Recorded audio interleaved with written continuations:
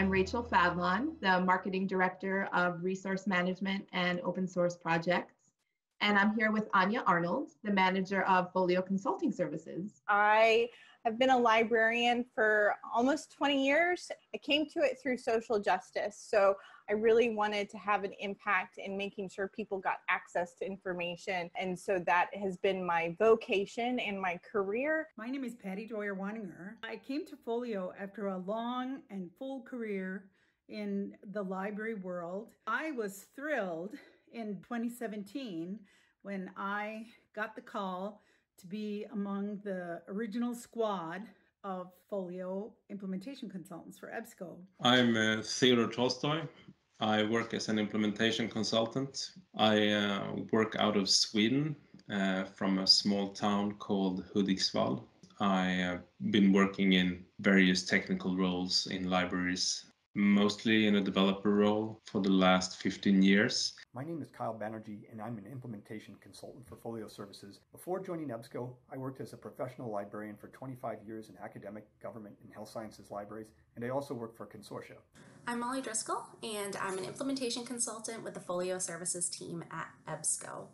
My background is predominantly in public librarianship, mainly in circulation and interlibrary loan in public libraries in both Massachusetts and New Hampshire. My name is Jose Alexander Soto. I am currently working as leader and consultant for EBSCO Folio implementation teams. My past experience has been implementing management system in academics and public libraries for more than 18 years. My name is Lisa Sjögren and I am right now the newest Folio implementation consultant with a special focus on the more technical sides of data migration. I was actually the systems librarian at Chalmers University of Technology when the library there uh, went live with Folio and implemented Folio as the first library in the world. Anya, can you tell me a little bit about what your team does? We help libraries migrate to Folio. So helping means to be their guide, but also to make sure that they know that they're not alone in the system and that we have been there and we can kind of walk through implementation issues. We can um, manage the difficulties. And we're also here to make sure that the project is done and completed on their timeline. Can you talk us through what a typical day could look like for you and your team? So, one of our major tasks is to document how a library currently works in their current system so that we can then create a workflow diagram that highlights what the machine does, like what their current system does, and what their people do. Because this is not just a change of systems or an upgrade to system it's a whole library change right? You're going open source you're going to be more in control of the system and your voice really influences it. So you really have to understand it from the ground up. Anya your teammates have put together some videos about themselves but i was wondering if there was anything in particular you'd like to highlight about any of your team members. They really know their stuff. We're all super passionate about libraries and about getting the work that they need done accomplished and having the system work for them and not the other way around. Too often we have let workflows or workarounds become a part of our lives. So we really want to make sure that, that the system is working on behalf of the library and not the other way around. So we're super passionate about that. And it's just a wonderful team to work with and to manage.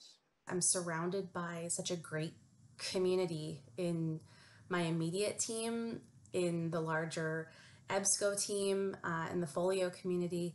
And I'm just, I really thrive when I know that I'm helping librarians help the communities that they serve. And I really feel that that's uh, what I'm able to do here in uh, EBSCO Folio Services. I think Folio represents the best option for libraries wanting to implement a flexible and powerful system that meets their needs into the future while still being relatively easy to use. I believe really good people are working on it, and I wanted to be a part of that. I'm really pretty excited about working on the Folio implementation team because I am seeing the effort that the entry teams make to satisfy the customer's needs for functionalities or workflows improvement.